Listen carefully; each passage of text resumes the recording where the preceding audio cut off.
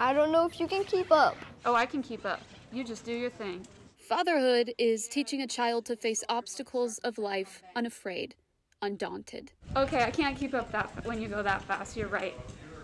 Fatherhood is realizing when your child is teaching you. Uh, he's tough as nails. Uh, he even took out his own IV the other day. Fatherhood is a million moments in between. These are front and side x-rays of Alex's spine right before we placed him into the halo. The curve that you see right there is nearly 90 degrees. Right now, Alex is in the hospital undergoing a treatment called halo gravity traction. A halo is a device that can be fixed to the skull and it allows us to safely stretch out the spine under tension over a couple of weeks. And that gives us really the ability to safely take care of scoliosis a little bit at a time rather than simply correcting it all at once, which can put stress on the nerves. He's been in different kinds of treatments since he was a baby. This is a halo, and this does for my body. It helps my spine get more straight.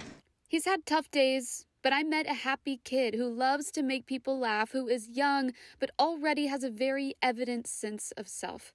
I met a child who's known by the nurses and security guards on his floor for his speed when he takes to the hallways. This boy likes to run. He sure does. He's really fast. Fatherhood is not a place or a goal, it's a presence. It's right here in a hospital room by Alex's side.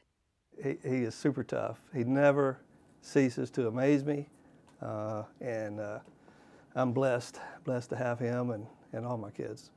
Sawyer Buccy, Atlanta News First.